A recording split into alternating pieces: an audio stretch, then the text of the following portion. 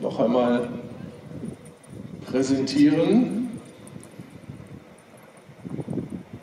Erste Zwischenzeit 1, 17-1. Tom Brady hat sie ausgelöst. Dahinter in zweiter Stelle das ist ehemalige Michel mit Thomas Welsing, gleichfalls ein Wiederqualifikant, eine Wiederqualifikantin. Letzter for Children dann in dritter Position für den guten Zweck laufend. Aus dem Besitz der gefiel Sabayone Diamant, der war Zweiter im CCT-Rennen dort. Expensive Diamant die 13. Paper Duke mit dem Schwarmer 17-2, die dritte Zwischenzeit. Rollercoaster die 8 mit Markus Bock noch am Start.